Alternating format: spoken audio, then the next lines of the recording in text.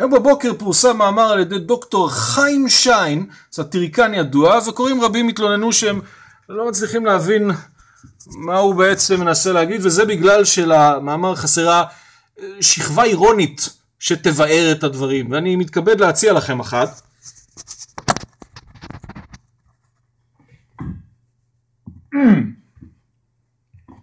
חג לאוהבי ישראל! רכישת בית הדפוס של העיתון מעריב על ידי ישראל היום היא יום חג ממש לשוחרי הדמוקרטיה, לאוהבי הארץ המופלאה שלנו, לאזרחים שיודעים שצה"ל הוא צבא השחרור של היהודים במולדת ולא צבא כיבוש. ובעיקר לישראלים שבמשך שנים לא מוכנים להיכנע לרוח הנקאים ולתבוסתנות של ערוצי התקשורת הישראלים.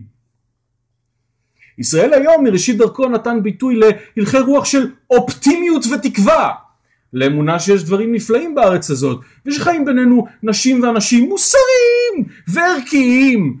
העיתון פעל בנחישות לגלות לציבור את האמת! בלי, בלי מוראם של טייקונים בעלי אינטרסים ושאר מלחכי פנחה כשעיתון ישראל היום אזרחי ישראל אוהבים את ישראל היום לא משום שהוא מחולק חינם היום גם המתחרים משווקים במקומות רבים בחינם. הצלחת העיתון היא בזכות התחושה שיש סוף סוף ביטוי תקשורתי לדעת רוב הציבור במדינת ישראל. ציבור שקולו לא נשמע ולכן נוצר רושם מוטעה כאילו מדינת ישראל כולה הפכה להיות מעוז עולמי של שמאל ליברלי חסר שורשים יהודיים. רכישת בית הדפוס היא נדבך נוסף בהעצמתו של העיתון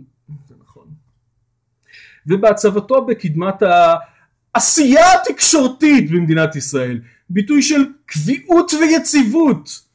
בעוד שרבים מאמצעי התקשורת מקרטעים ונשחקים עד דק אז חג שמח